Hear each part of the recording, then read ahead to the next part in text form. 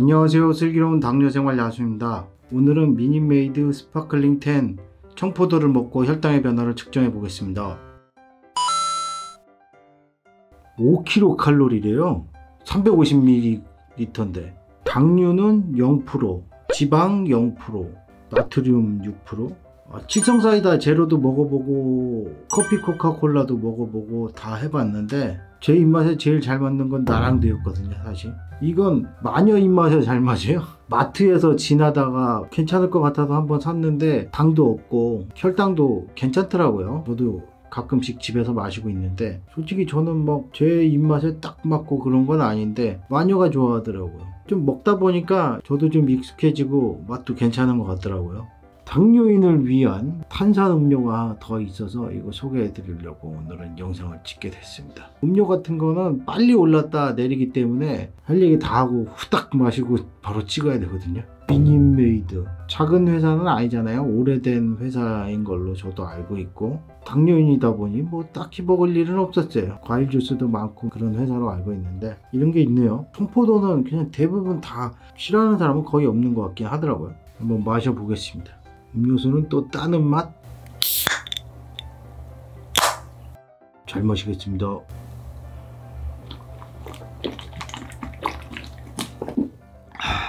옛날 청포도 쭈쭈바 희석시켜 놓은 듯한 그런 맛. 탄산이 나랑드처럼 막 세지는 않아요. 일반 환타보다도 탄산이 좀 약한 듯한 느낌이랄까요?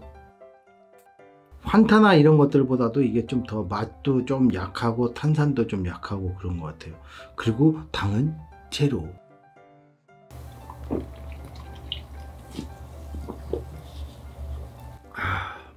속이 더부룩하거나 막 이럴 때 가스설명수도 아닌데 사이다도 먹고 콜라도 먹고 그러긴 하잖아요. 이게 실제로 도움이 되는지는 모르겠는데 기분상으로는 되게 큰 도움이 되잖아요. 근데 이거는 그렇게 탄산이 세진 않아요. 탄산음료를 다른 걸 안 먹고 나랑드만 먹다 보니까 나랑드의 그 강한 탄산 때문에 이게 저한테 특히 더 약하게 느껴지는 걸 수 있거든요. 왜냐면 다른 탄산을 안 먹어봤으니까 상대적으로 탄산이 좀 약하게 느껴지는 걸 수 있는데 어찌됐건 확실히 나랑드보다는 탄산이 훨씬 약해요 아, 여러분들 아시죠? 음식 먹고 혈당 찍을 때는 음식을 먹기 시작한 순간부터 2시간씩 재서 찍는 거 아시죠? 음료수를 마시기 시작한 순간부터 10분 후에 혈당을 찍어보기 시작하겠습니다 선택의 폭이 자꾸 점점 넓어진다는 건 행복한 것 같아요 어쩔 수 없이 나랑들만 먹는 거랑 그 중에 나는 나랑들을 택하겠어. 그렇게 먹는 거하고 좀 기분이라도 좀